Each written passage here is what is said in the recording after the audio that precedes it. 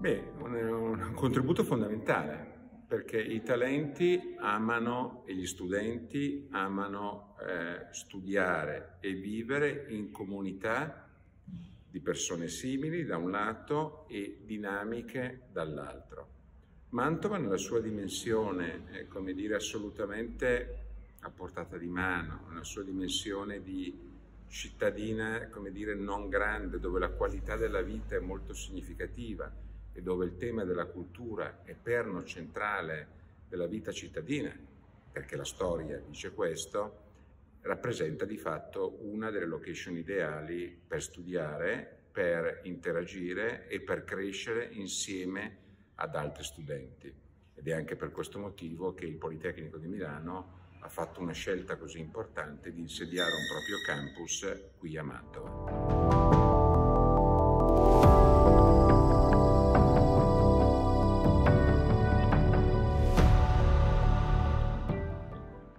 Metaverso, cosiddetto metaverso, in qualche modo è esattamente quello che è stato appena detto, cioè un'architettura di contenuti in grado di semplificare i processi di apprendimento degli individui.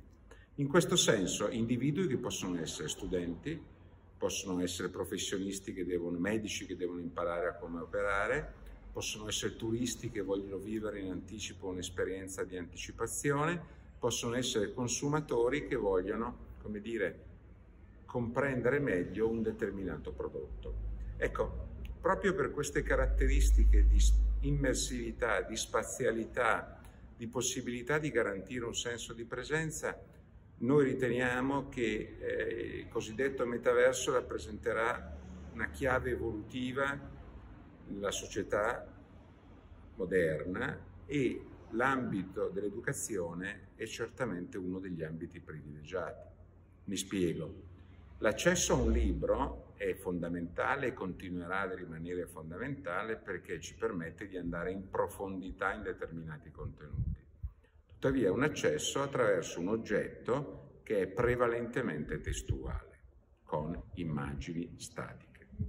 Se accanto al libro, che continuerà a rimanere come forma di apprendimento che aiuta ad andare in profondità, pensiamo a contenuti metaversali, quindi ad ambienti immersivi, è chiaro che il lettore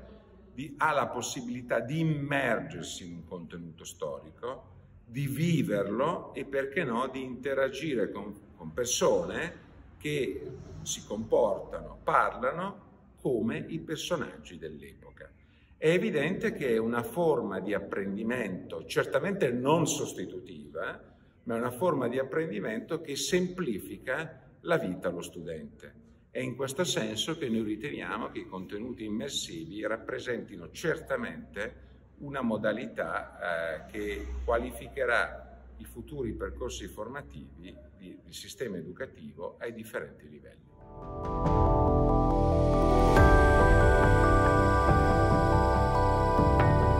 Mondo real estate, come tanti altri mondi, sarà significativamente impattato dalla disponibilità di contenuti immersivi e, come ho evidenziato, sarà impattato secondo differenti dimensioni. La prima dimensione è tutto quello che avviene in fase di progettazione e, come dire, in, eh, nel preacquisto, a seconda che si voglia vedere la logica dell'architetto o la logica dell'acquirente. In questo senso, architetto, progettista e individuo acquirente possono co-creare l'oggetto come dando al progettista dà la possibilità di muoversi virtualmente in uno spazio immersivo che è lo spazio della casa, dell'appartamento e quant'altro che è oggetto dell'interazione. E quindi questa è una prima modalità, che è una modalità che aiuta il progettista, aiuta l'acquirente a scegliere meglio. Nel contempo è evidente che accanto a questo tipo di possibilità è una possibilità che poi può dar luogo, può essere utile anche in fase di utilizzo, perché un modello che è il modello digitale di un edificio può essere poi a supporto di tutta una serie di fasi che sono fasi della manutenzione e dell'evoluzione di quello che è eh, l'oggetto, l'immobile medesimo. Quindi decisamente avremo a che fare anche nel mondo dell'architettura con eh, un impatto che noi riteniamo essere significativo.